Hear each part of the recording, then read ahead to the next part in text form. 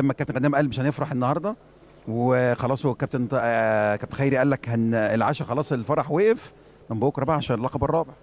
والله الله يبارك فيك. اولا والحمد لله على المكسب آه، نستاهلها والحمد لله. الناس كلها كنا مضغوطين شوية بالماتش ده.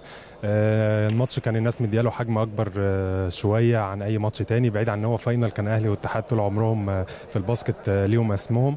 لكن الحمد لله إحنا كنا مركزين إن إحنا نكسر الموضوع ده من من دلوقتي بداية على أساس إن إحنا لسه الموسم طويل لسه في كأس مصر وهنقابلهم تاني ولسه هنقابلهم في الدوري تاني.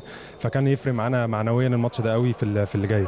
إحنا الحمد لله يعني يعني متعودين كده دايما ودي مش أول ما نتحط في الظروف ديت إن إحنا يبقى في ماتشين ورا بعض مهمين. بعد أول ماتش بالذات آه، بنحاول إن إحنا نفصل خالص آه، بعد ما نطلع من الماتش. طبعا لازم نفرح بعد الماتش نستحقها والحمد لله. آه بالظبط. أول ما أول ال quarter الأولاني كان وحش قوي والله بداية الماتش يعني معلش اعذرني برضو في الأول وفي الآخر ده final آه، دوري وبيبقى ليه إحساس خاص وفرقة أول مرة تقابلها في الدوري. يعني فرقة برضو ما خسرتش ولا ماتش فأنت نازل ماتش برضو عامل له حساب زيادة عن اللزوم وساعات من كتر ما أنت بتعمل ماتش حساب زيادة عن اللزوم بيجي عليك بالعكس شوية. بس إحنا قدرنا نلم نفسنا quarter الثاني من آخر الثاني وأول الثالث الحمد لله وقدرنا نحسمه في آخر الماتش يعني فالحمد لله ورب بكرة بإذن الله هنحتفل مع بعض بإذن الله. إن شاء الله شكرا. ربنا يخليك. كابتن خالد يعني خلاص وقت الأفراح انتهى. نركز بكرة بإذن الله نحسب اللقب الرابع بإذن الله قادرين.